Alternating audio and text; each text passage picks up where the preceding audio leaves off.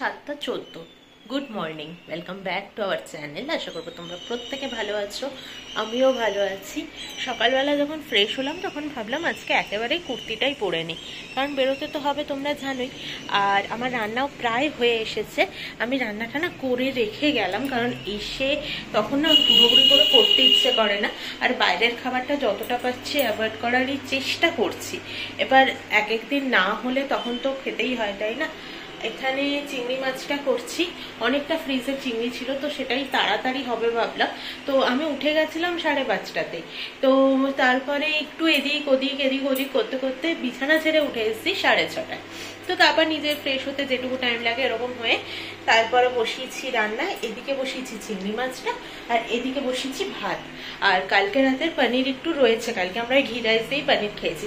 কালকে রাতে কটায় কারেন্ট এসছে বলো তো? মানে তোমরা যারা আমার ডেলি ব্লগ ফলো করছ তারা জানো, কালকের দিনটা আমরা মহা ভুগেছি। মানে আমি তো একা মহা ভুগেইছি, সাথে প্রমি পাঁচটার পর থেকে এসে ও ভুগেছে। কালকে কারেন্ট এসছে নটা পঞ্চাশে মানে দশটা বাজতে দশ মিনিট আগে। তো তারপরে আমাদের তো তখন মোটামুটি খেতে বসে পড়েছিলাম, আমরা খেতে বসেই পড়েছিলাম যে তারপরে ছাদে গিয়ে বসে থাকব, নয় চাদর নিয়ে যাব, ওখানে গিয়ে আরাম করে একটু বালিশ নিয়ে হেলান দিয়ে বসে থাকব। তো যাই হোক কারেন্টটা চলেই এসেছিল তারপরে আমরা সারাদিনের ওই রকম আমি সাড়ে পাঁচটায় উঠি তো সকালে, আমার সত্যিই দুপুরে না একটু ঘুমালে, একটু রেস্ট না নিলে আমি পারি না সারাটা দিন টানতে। তো সবাই তো সমান না, ওটা আমার হয়ে আছে, অনেকেই হয়তো পারে, কিন্তু আমি ওটা পারি না। দাও চিংড়ি মাছের ঝোলটা শুকিয়ে যাচ্ছে। বন্ধ করে দিলাম, হয়ে গেছে চিংড়িটা। ভাতটাও প্রায় হয়ে এসেছে। তো কালকে আমার মাথা যন্ত্রণা করছিল, এমন একটা লাগছিল না, আর সারা দিন ঘেমেছি, চুলগুলো পুরো আঠার মতো ভিজেছিল। তো এই সব করতে করতে গিয়ে মাথা যন্ত্রণা এমন করল যে লাস্টে গিয়ে আমি নেতিয়ে পড়ে ঘুমিয়েই গেছিলাম।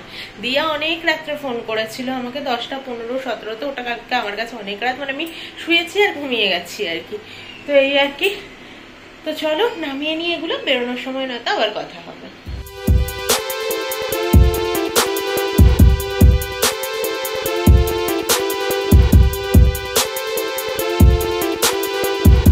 চলো, আমরা বেরিয়ে পড়লাম।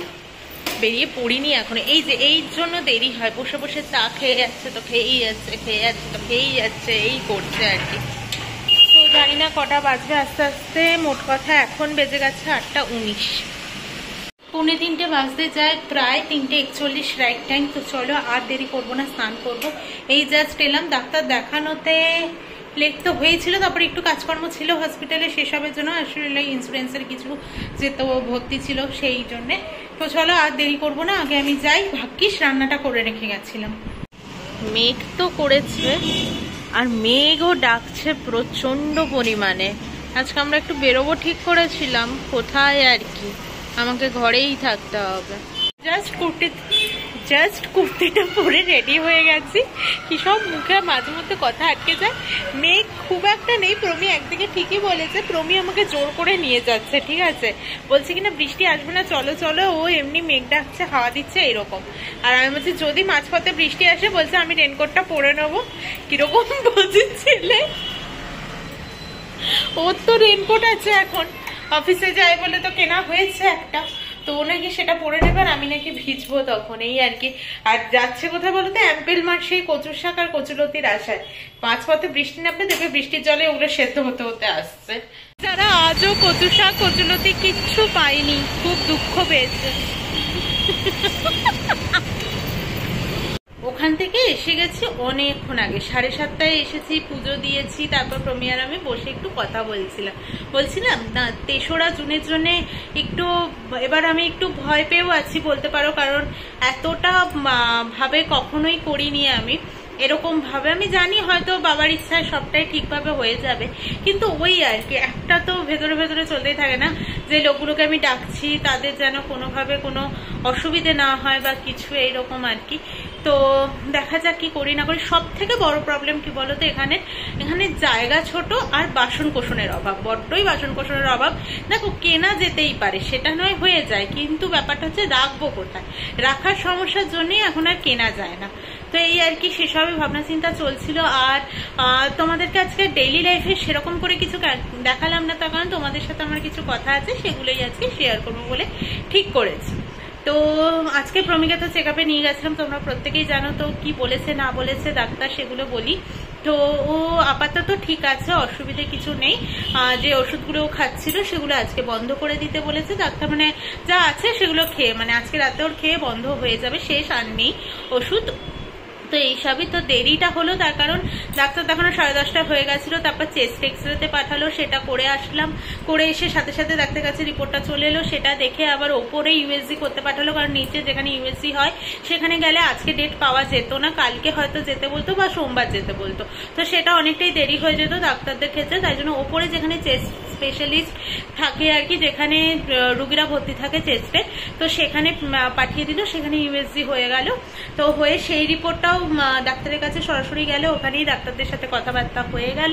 তো ওখান থেকে তারপরে আমরা মোটামুটি দেড়টায় কাজ মিটেছে। তারপর ওর ইন্স্যুরেন্সের কাগজপত্রের জন্য দুটোর সময় যেতে বলল, কারণ বাকিটা, সাড়ে বারোটা না, কটা থেকে বেশ ওদের টিফিন টাইম শুরু হয়ে যায়। তো ওই জন্যে দুটোর সময় যেতে বলেছিল। তো আবার আধ ঘণ্টার জন্য কোথায় বা কি করব, না করব, আর আমরা তো বাইরে খাইও নি, তার কারণ আমরা বাড়িতেই রান্না করে রেখে গেছিলাম আজকে ওই জন্যে। তো তারপরে বাড়িতে আসলাম হচ্ছে পৌনে তিনটে, তোমাদের সাথে তো শেয়ারই করলাম। যাই হোক, তো তারপরে আমি যেটা আজকে দেখেছি আর কি, যেটা বলব সেন্ট জনসকে মানে এমনি আলাদাভাবে ভালো লাগতো, কারণ ওখানকার চিকিৎসা ব্যবস্থা খুবই ভালো, ওখানে প্রত্যেকের ব্যবহার খুব ভালো। তো আর এতটাই ফাস্ট সবকিছু হয় যে সত্যিই ভালো লাগে তার জন্য, ভালো লাগার একটা জায়গা।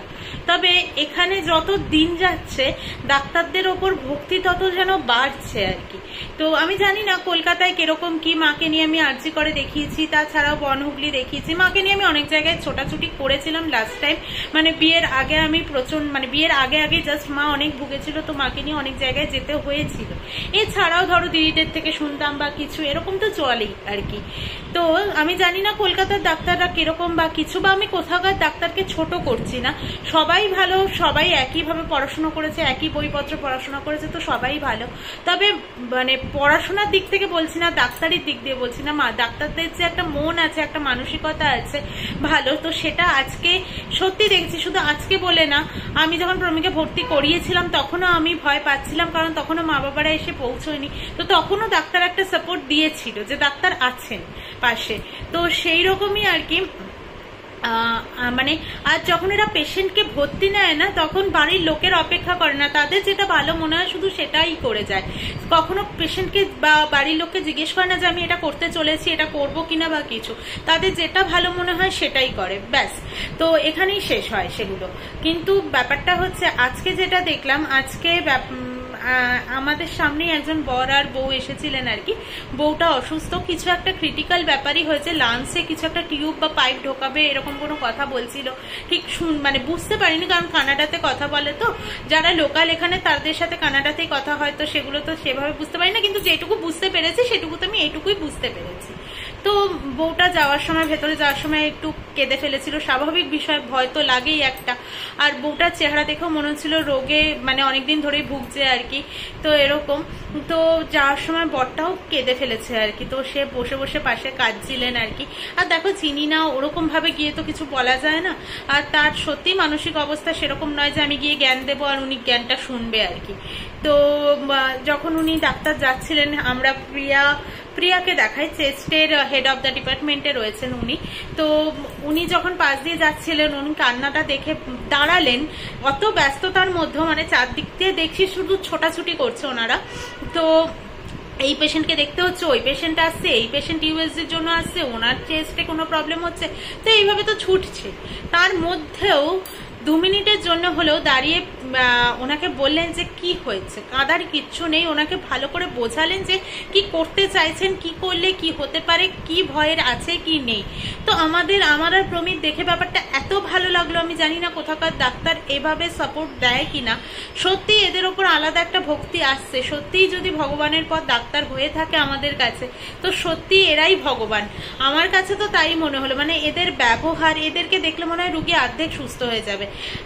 কলকাতায় না মানে সত্যি খারাপ লাগে বলতে কলকাতা আমার জায়গা। আমি আমার জায়গার বদনাম করতে চাই না। তবে কি বলতো, কলকাতায় ব্যাপারটা এরকম হয়ে গেছে এখন মানে রুগীকে ওরা, রুগী বলে বা পেশেন্ট বলে আর দেখছে না আর কি। রুগী ব্যবসার জিনিস হয়ে দাঁড়িয়েছে আর কি। তো কিন্তু এইখানে সেটা নয়। পেশেন্টকে এরা পেশেন্ট বলেই ট্রিট করে। আর পেশেন্টকে এরকমভাবে বুঝতে দেয় না যে, ও, তোমার অনেক কিছু হয়ে গেছে, তুমি এটা করবে না, ওটা করবে না। একদমই নয়। পেশেন্টকে সবসময় সাপোর্ট দেয় পেছন থেকে যে হ্যাঁ ঠিক আছে, তোমার কিচ্ছু হয়নি, তুমি সবটা করতে পারবে। তো এই জিনিসগুলো খুব ভালো লাগে এখানে। আর ডাক্তার সবসময় বলে, তুমি করেই দেখো না, আমি পাশে আছি। তো এই জিনিসগুলো না সত্যিই ভীষণ ভালো লাগে এখানকার। আর পয়সার কথা বলব তো, এখানে এই জিনিসটাও আমাদের সাথে ঘটেছে। এখানে তো আগে স্পেশাল অ্যাপয়েন্টমেন্ট নিতে গেলে সাড়ে পাঁচশো টাকা দিয়ে এরকম নিতে হতো পাঁচশো কি সাড়ে পাঁচশো না, পাঁচশো তিরিশ এরকম কিছু একটা মনে নেই। তো এরকমই কিছু একটা লাগতো আর কি। তো হয় না, মাঝে মধ্যে আমরা ভুল ডাক্তারের কাছে চলে যাই। ভুল ডাক্তার মানে হচ্ছে, ধরো আমার অন্য ডাক্তার দেখাতে হবে, আমি মেডিসিন ডাক্তারের কাছে চলে এসেছি। কোনো স্পেশাল ডাক্তারের কাছে যেতে হবে। তো এত ভালো লাগল যে সেই ডাক্তার নিজের অ্যাপয়েন্টমেন্ট ক্যান্সেল করে দিয়ে সেই ডাক্তারের জন্য অ্যাপয়েন্টমেন্ট করতে বলল। মানে নিজের ভিজিটটার উনি নিলেন না। এতটাই ভালো লাগল, সেই দিনকেও একটা আলাদা ভক্তি এসেছিল। এমন বলব না যে টাকাটা নেয়নি বলে নয়। মানে ওনার যে ওটার রেসপন্সিবিলিটি উনি যে আমাদেরকে ঘোরালেন না, উনি না বুঝে শুনে যে ওষুধ দিলেন না, এই জিনিসটা সত্যিই ভীষণ ভালো লাগল। আরও এখানকার একটা জিনিস ভালো লাগে যে, যেটা হবে সেটা তোমার মুখের ওপর বলে দেবে। যদি তোমার এই চিকিৎসা ব্যবস্থায় তোমাকে ভালো করা যায়, তো সেটা বলে দেবে যে এতদিন টাইম লাগবে, এখানে এতদিন থাকতে হবে। যদি তুমি এখানকার বাসিন্দা না হয়ে থাকো, তো দেখো তুমি পারবে কিনা। এতদিন কিন্তু টাইম লাগবে। আর যদি মনে হয় যে না, এগুলো করে কিছু হবে না, এর আয়ু আর নেই, তাহলে সেটাও বলে দেবে যে এগুলো করে আর কোনো লাভ নেই, এ এতদিন আর থাকবে আর কি। তো যেটা সত্যি সেটা বলে দেয়, টাকার জন্য চিকিৎসা এখানে ব্যবস্থা করবে বলে এরকম করেন আর কি। যাই হোক, যেগুলো আমার ভালো লেগেছে এখানকার, আমি সেগুলো তোমাদের সাথে শেয়ার করলাম। ভুল কিনা ঠিক আমি জানি না। তবে আবারও একবার বলছি, আমি নিজের জায়গাকে কখনোই ছোট করতে চাই না। আমার যেগুলো মনে হলো, সেগুলো তোমাদের সাথে জাস্ট শেয়ার করলাম, এই আর কি। তো চলো, আজকের মতো টাটা গুড নাইট বলার টাইম চলে এসেছে। আর আরও একটা কথা রূপম শুভ্রার শর্টস চ্যানেল এসছে মানে ওরা মিনি ব্লগ করছে আর কি শর্টস বলব না মিনি ব্লগ করছে। তো সেই চ্যানেলের নাম হতো সম্ভবত রূপম শুভ্রা প্লিজ তোমরা আমাকে যেভাবে ভালোবাসা দিচ্ছ, যেভাবে সাপোর্ট করছ ওদের পাশেও একটু থেকে। ওরা খুব সুন্দর সুন্দর শর্টস বানাচ্ছে, এখন বানাচ্ছে হচ্ছে মিনি ব্লগগুলো হানিমুনের ওপরে ওরা রিসেন্ট হানিমুন করেছে। কোথা থেকে করেছে সেটা বলছি না, ওরা তোমরা চ্যানেলে গিয়ে ভিজিট করো, তাহলেই বুঝতে পারবে বা জানতে পারবে। কি চ্যানেলের নাম? ও আচ্ছা রূপু সুবি রূপম শুভ্রা নয়। রূপু সুবি বলে সার্চ করে দেখো একবার ভালো লাগবে আশা করি। তো চলো আজকের মতো টাটা গুড নাইট পড়ছে হচ্ছে বৃষ্টি আর আমার ইনভার্টারে জল কমে গেছে তাই জন্য জল ধরার জন্য বালতি পেতে দিয়েছি। আর একজন পাশে দাঁড়িয়ে দাঁড়িয়ে হ্যাঁ হ্যাঁ হ্যাঁ হ্যাঁ করে হেঁটে যাচ্ছে। বাদে বৃষ্টি এলো ব্লগটা শেষ করেও শেষ করতে পারলাম না। যাই হোক তো চলো আজকের মতো ব্লগটা শেষ করছি গুড নাইট